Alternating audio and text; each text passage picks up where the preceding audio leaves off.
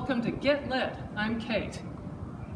And I'm Pat, and welcome to the Civic Center Library here at Scottsdale. We're here to share our beautiful library with you, as well as some services, books, and more that we're really excited about. And we think you will be too. So, come, Come on, on in, in with with us. us.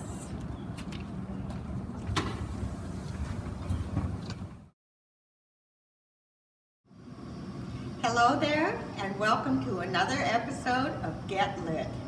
Today, because of spring, notice, Kate and I are going to be talking about gardening, many aspects of gardening. We'll talk vegetable gardening, indoor gardening, uh, edible landscape gardening, all kinds of things to kind of pique your interest in what you can do this spring for your garden, inside or out.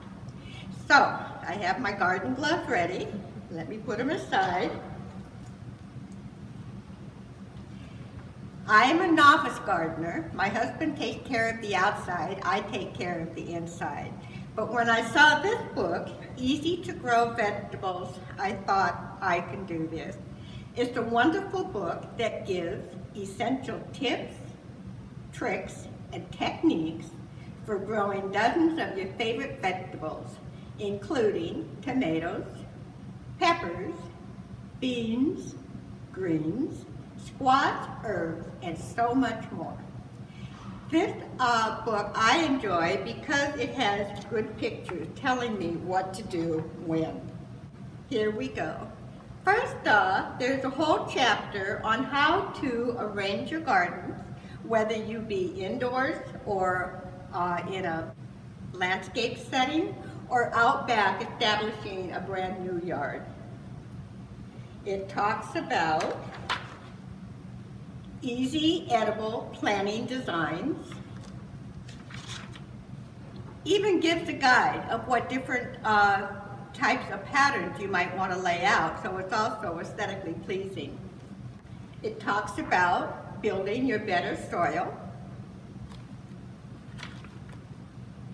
And then the chapters include, as I already said, tomatoes, peppers and vines. Don't those look delicious? Growing your own green beans, root vegetables, and all the way down the line to also herbs. And I do love having herbs available for my cooking. One of the fun things about this particular book, I have a wonderful cookbook at home is what to eat when, what to eat when it's in harvest. So as my Swiss chard grows, I can look up recipes for that. When my tomatoes finally ripen, I can look up recipes for that as well. So this is a fun one to have, a good one to start with. And then my second book for this go around is Container Gardening. Uh, many of us have perhaps a smaller patio, smaller backyard, perhaps a deck off the condominium, a couple of stories up. So you want to know how can I start out with container gardening, especially if I am, as I say, a novice gardener.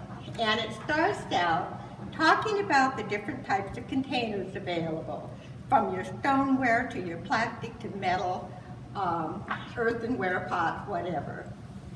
Talks about choosing the right size for the particular types of plants that you might want to, or herbs or flowers that you might want to grow.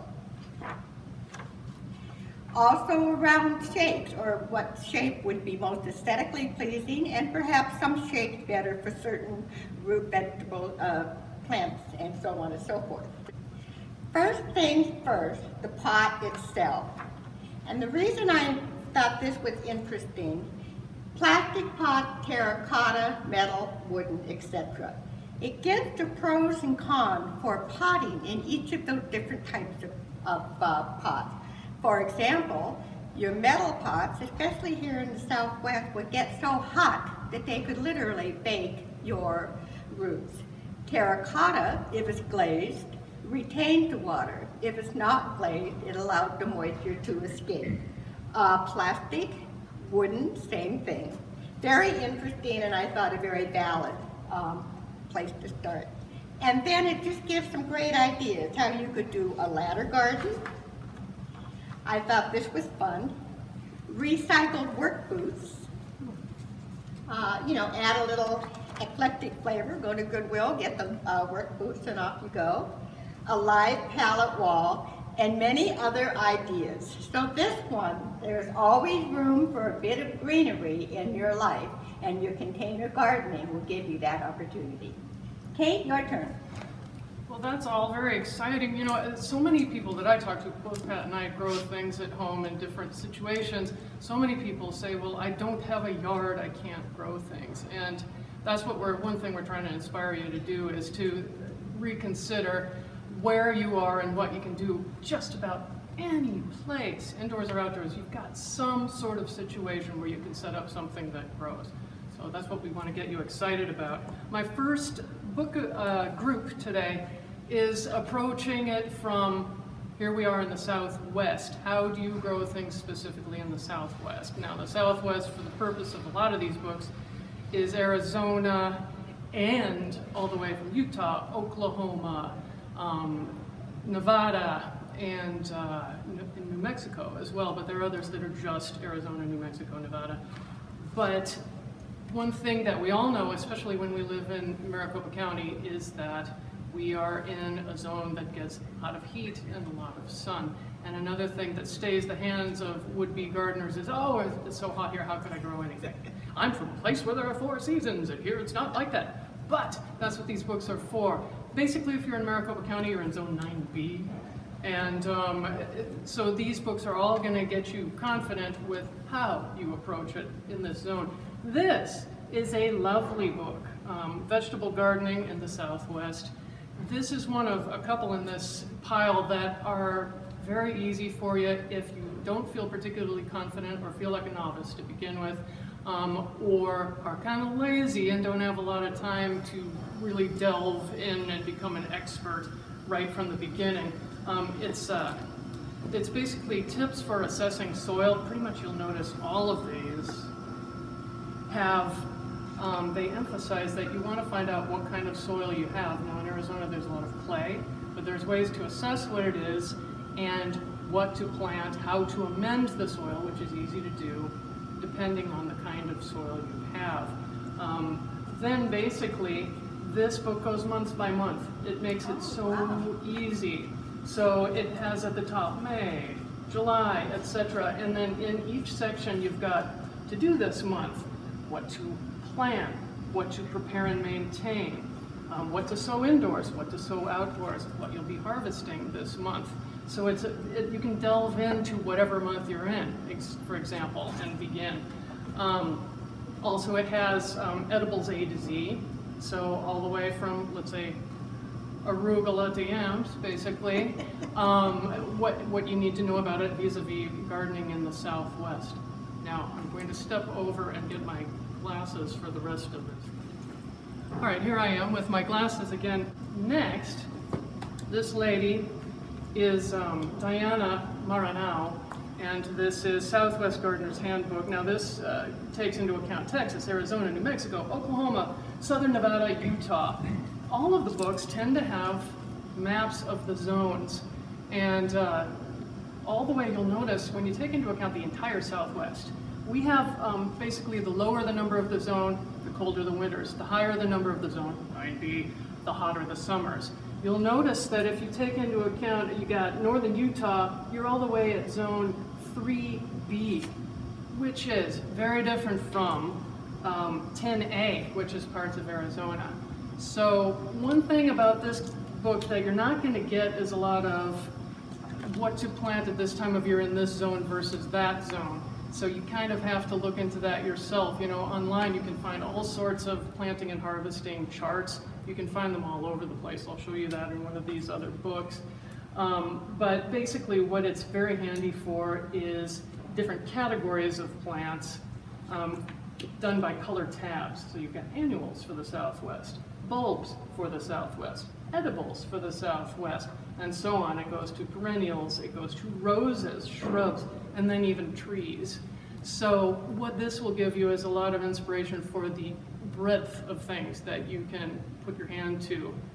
And um, next, you'll hear the name Mary Irish a lot if you're looking into books about gardening. By the way, the Dewey number for just anything about gardening in general, keep it in mind, 635. If you just go to 635 and browse, you're going to find a lot of things, and a lot of the things will be by Mary Irish. Um, with this one, you're going to go to the bottom edges to navigate. Desert perennials, grasses and lawns, roses. A lot of emphasis on roses for people who think maybe you can't grow roses in the Southwest. Another thing that's very interesting that these books point out is every yard or little place that you have, your balcony, is a microclimate all its own. So your balcony might not be as 9B, say, as a west-facing wall outside. So what you need to do is not be afraid and dive in and find out what works in place you have. That's why you got to go in with no fear, okay? So this one, Arizona and New Mexico Getting Started Garden Guide, has very nifty little icons that will tell you, for instance, is this a native plant? Will it give you fall color? Is it edible? Does it attract hummingbirds? Does it attract uh, butterflies and bees? And then is it drought resistant? And it also will tell you with little handy icons how much sun it needs, which again, in your yard, you might have a bunch of different little microclimates where you can grow different sun-loving or shade-loving things okay? And then, the last one in this group was my favorite, kind of an unprepossessing cover. Um, month by Month Gardening, Arizona, Nevada, and New Mexico by Jacqueline Soule. Jacqueline Soule has got degrees. I mean, most of these people do, but man, she's got a PhD. She got all of her, she had multiple bachelors of science in horticulture, and in botany that she got from good old uh, U of A and other Arizona colleges, also ASU, and then she went to Texas and got her PhD. So this lady knows what she's talking about, and what's so cool is even though she's a big, scary expert, she puts this down for you so easily. This is the lazy gardener's dream. Yeah, yeah, because it's just month by month. So you open it to any month, and it's going to tell you what what uh, lawn things can you plant? What perennials will work this month? What roses, what shrubs, what trees, etc. And with just little nifty sidebars that are good to know, like how to know if a plant is established. Um, and uh, for instance, to store summer blooming bulbs. So it's really a wonderful one to begin with. And um, I highly recommend this one. So once again, month by month gardening, Arizona, Nevada, New Mexico, Jacqueline Soule. And that's it for my first group of books. Pat, what have you got? Thank you, Kate. Well, as I said in my uh, introduction, my uh, husband takes care of the outside, though he does a good job with the garden. I participate, but I like my indoor plants. They're kind of like home to me, and they belong to me. And oddly enough, it must have been uh, serendipity, there was an article in the Arizona Republic Scottsdale section just a little bit ago, House Plants for Your Health. And it says, a new study found that having plants at home had a positive influence on participant psychological well-being during the COVID-19 lockdown something of your own to take care of. I think that's probably the gist of it. So this little book, to me, would be the Bible for anybody. It's called Pocket Guide to Houseplants, over 240 easy care favorites. The only manual your houseplants will ever need, Pocket Guide to Houseplants, shows you everything you need to know, and this I like how to incorporate plants in your interior design. With plant descriptions and complete growing care information for over 240 popular species, from ferns and cacti to orchids and lilies, find the perfect plants for any and every space in your home. So I did bookmark a few. One of the ones that I enjoyed was growing culinary herbs in your home. And they have a gallery of herbs, our favorite, bay leaf, rosemary, spearmint, basil, chives, oregano, parsley, uh, marjoram, etc. And it gives you a lovely introduction to growing herbs in your home, what kind of pot you'll need, um, finding the right container, very much like my original gardening book that I had pointed out. So one of the uh, plants that I find that you absolutely cannot starve, deprive of water, or heat, or whatever, it is a hardy, hardy plant, it's the pothos plant. I have a couple of these in my home. Uh, when I give a plant gift, especially to um, one of my kids that doesn't really tend to take care of their plants like their mother does, I usually buy them a pothos. It's a great plant to start with. This one is the variegated vein uh, pothos that adds a little bit of lightness to it, but they also come in the darker green leaf and such. Does it matter? Yes, because certain places in your home may have a dark corner or not be as as lighted up, um, especially if you're living in an apartment situation. So you want your light, your plant to bring color, just like you would your other um, decor in your home. Another one that I've always enjoyed, especially is a hanging plant, which was very popular at one time. Everybody had to have their macrame. I'm dating myself. But the spider plant, and that one too is a pretty hardy one. And if one of the leaves tends to go brown or looks kind of scuzzy, just pluck it. Nobody's going to know the difference. Uh, but this whole book is full of wonderful plants, bamboo, butterfly palm, and it will also have a section on it then that depending on what part of your home that you're, what, what may be best in a bedroom or what might work best in a living room. What works best for a tabletop decoration, especially a dining room table. So, a great little pocket handbook to houseplants. There was also one on the shelf that I found quite fun, and it just simply hip houseplants. Discover natural ways to create a stylish home with the ultimate living accessory for interiors. Over 150 uh, commissioned photographs reveal the striking decorative possibilities of palms, lilies, orchids, bamboo, and many other plants. So definitely a go-to book. So, maybe you have a house revival type decor. I'm just going to kind of randomly pull some pages up here, showing how you can do ferns and cactus. Um, perhaps for the living room. And here again, notice that she's chosen houseplants that have uh, like an amaryllis or something like that that has a lovely flower to it. And here are some wonderful ideas of the different potting techniques that can also add design and color to your home. So I would think, oh, pests and diseases, they're not totally the easiest to take care of, but it is doable. Anyway, I found this book to be a fantastic companion to the pocketbook of houseplants. So check them out. I think you would enjoy and maybe find some houseplants that you've never heard of before, but you can still get at Home Depot at a very reasonable price. Well, that's really exciting, Pat. yeah, I've been focusing on just outside, and I always have been kind of afraid of trying anything mm-hmm. indoors. But you see, that's the purpose of this is to give you ideas. So I've got some ideas now that I didn't have when we started, uh, when we pressed on.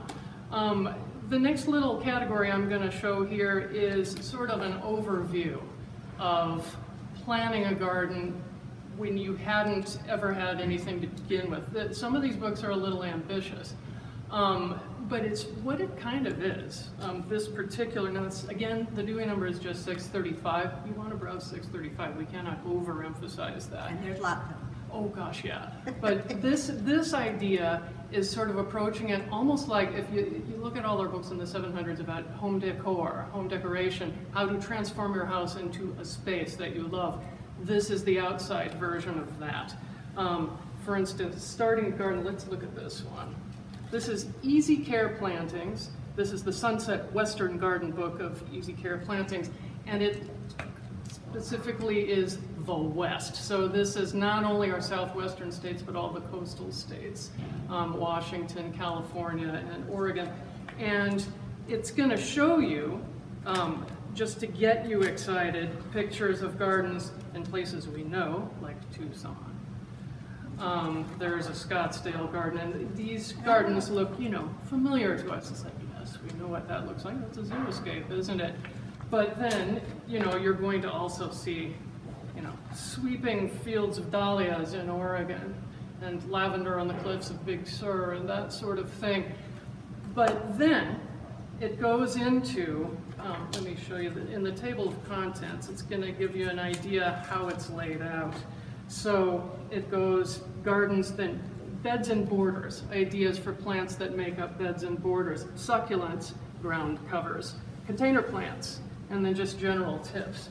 So the pictures alone are going to perhaps dispel your fear, I think, rather than awaken it, just because you can picture yourself being in this sort of Eden that you can create for yourself, just bit by bit. And then, just like having your home inside, looking like a, an oasis that you can come to at the end of the day and on the weekend, you can also make your outside into a, a sort of paradise of your very own. So remember, this is just the Sunset Western Garden Easy Care Planting. Easy care, don't be afraid. Um, then this is another similar one by Sally Roth, Beginner's Guide to Starting a Garden. Again, in the huge overview sense, with tips about everything that we've been talking about here, soil zones, and containers and raised beds, all sorts of things like that. Okay, so it's another 635. And then this one stood out to me by Gayla Trail. She's a Canadian. Um, it's called You Grow Girl. Um, she has a website also, yougrowgirl.com, that's been around since 2000.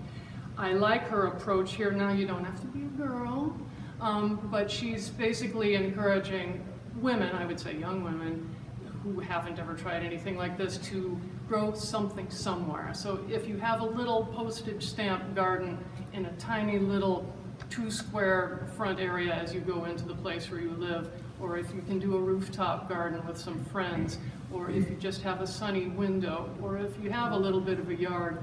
Um, this goes from beginning to end, basically, it's a truly holistic approach to growing things for beginners and anyone seeking inspiration. So it isn't just, it does, of course, do the thing about zones and soil um, and composting, but also tools that you should own, um, projects that you can come up with for planting, every project imaginable and care of your plants, but also recipes, and not just culinary recipes, though there are plenty of those, but there are medicinal recipes and bath and beauty oh. recipes. So it's really, really fun. And again, it isn't just for girls. Now, um, this is, again, 635. Within 635 Dewey number, you get really a range of possibility. But anyway, once again, Gayla Trail, you grow girl, and check out her website too. Right back over to you, Pat. All right. Before I go into my last two books, which I think you'll find, kind of fun and different, I just wanted to comment to you a few things. First off, both Kate and I are talking quite a bit about planting gardens. Garden takes seeds. Now you can go to Home Depot or your Ace Hardware and you can buy seeds or you can visit the Mustang Library which has a seed library, uh, excuse me, uh, yes, a seed library, what am I saying, seed library, where you can go in and you can check out a package of seeds and you don't have to return them, although if you grow anything, they might enjoy your zucchini or something as a thank you. Yeah. But this is something new to Mustang within the last few years. Uh, Laura Cootie, one of my favorite librarians, developed the uh, seed garden.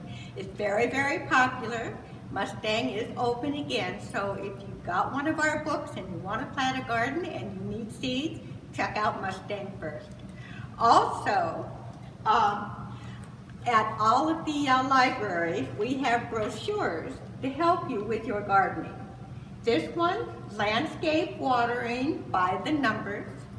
So you say, I've got a saguaro cactus, how do I water that? And I've got a petunia, and how do I water that? How much, how often, what time of year, etc. Excellent, whether you've lived here for a number of years or whether you're new to our community. Another one, xeriscape gardening. So of course, low water usage. You'll also find it is going to incorporate many of your native plants. So once again, We moved here from somewhere else, we want cactus and we want chollas and we want whatever for color. We don't have a clue how to water or take care of them. And this handy dandy book, Xeriscape, is just for you. Please do be watching in our library print catalog and on our online catalog. The uh, Water Department presents a series of landscape programs, and those will be featured on our scottsdalelibrary.org YouTube channel. And they're wonderful, very informative uh, pro uh, program about gardening in the Southwest. So, these I chose for fun. Some years ago, I read the most charming book, The Language of Flowers. And it's a lovely story about a young girl working in a florist shop and how she uses flowers to express herself. And the back of the book says, in Victorian times, the language of flowers was used to convey romantic expressions. But for Victoria Jones, it's been more useful in commun communicating mistrust and solitude. And it goes on to be the story of, of uh, Victoria Jones. But within the story, working in a florist, she talks about the different flowers and what the flowers represent. I found it fascinating. I had no idea. So, as a wonderful bedside book, I think you would very much enjoy The Language of Flowers. But this one, the meaning of flowers is a little bit more direct. And let me just read the uh, inside here. In many ways, nature's most beautiful works of art, flowers have reigned for centuries as the message of love, gratitude, friendship, and remembrance.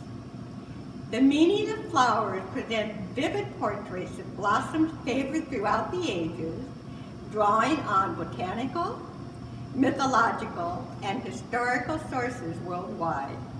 In Persia, for instance, the black medulla of the red tulip was said to represent a lover's heart burnt to a coal by love's passion.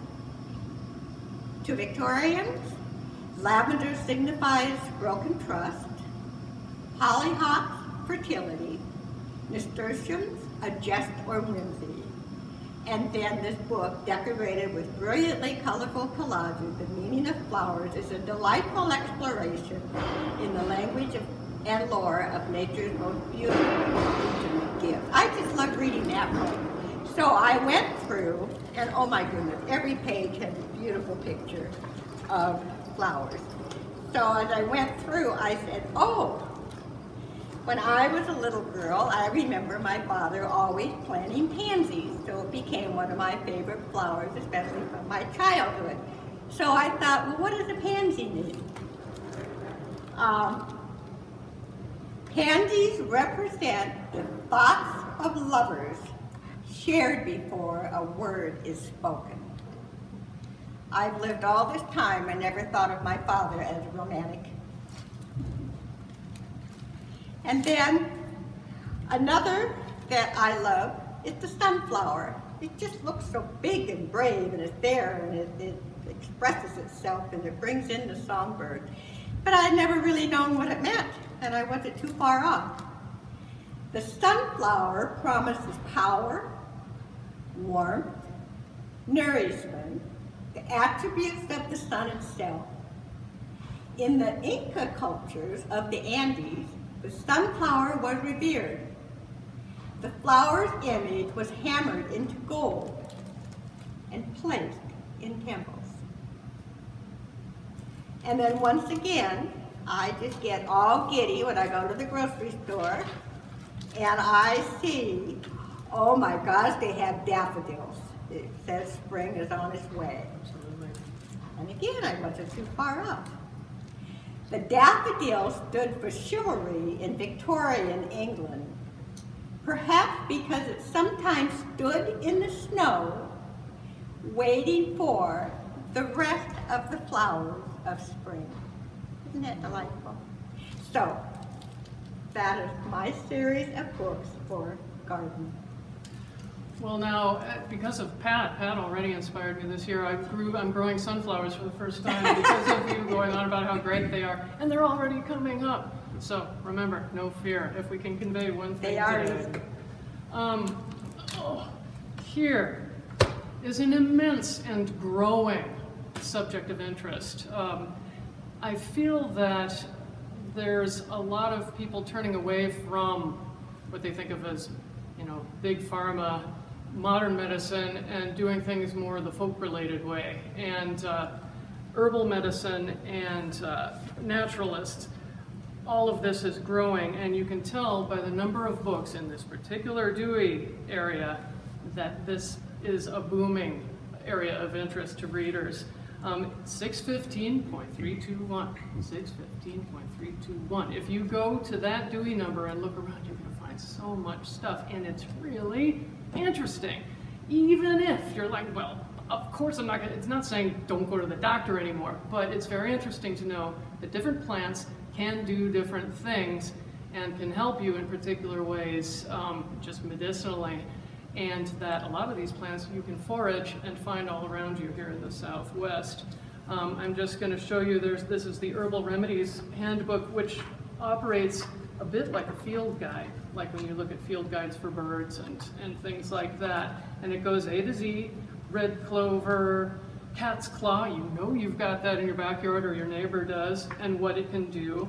And um, then there's an interesting spot here where it names alphabetically different health problems that we experience and what herbs or plants are used for that, and then a page number that talks about it in here. So that's one. Now, if you think that this is a, a foolish thing that's just for quacks, why I don't think so, because look, National Geographic has their own book on this subject, National Geographic's Guide to Medicin- Medicinal Herbs. And these are, of course, you know, nationwide it focuses on, and, and also all over the world what grows where. So it isn't so much focusing on the Southwest as some of these other books.